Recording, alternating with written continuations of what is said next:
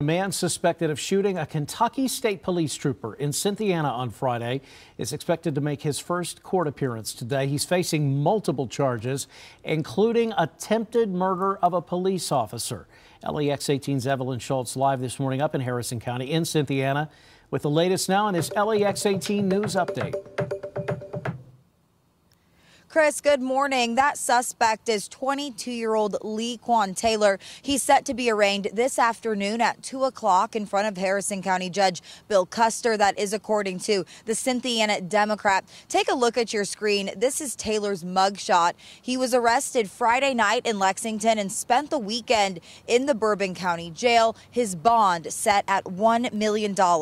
Police say Taylor is the man who shot a KSP trooper six times on Friday but they say the officer's ballistics vest and other gear stopped most of the bullets. Neighbors who live close to the scene of that shooting told us what they saw. I let my I let her dog outside and then I went to go let her back inside and as soon as I let her inside there was just gunshots. There was like 12 or 14 gunshots. And then I looked out the back window and there was a car flying down the road and the police started chasing after him. KSP has not yet released the name of the injured trooper, but we do know he was released from the hospital on Saturday and is now recovering at home. Live in Cynthiana, I'm Evelyn Schultz, LEX 18 News.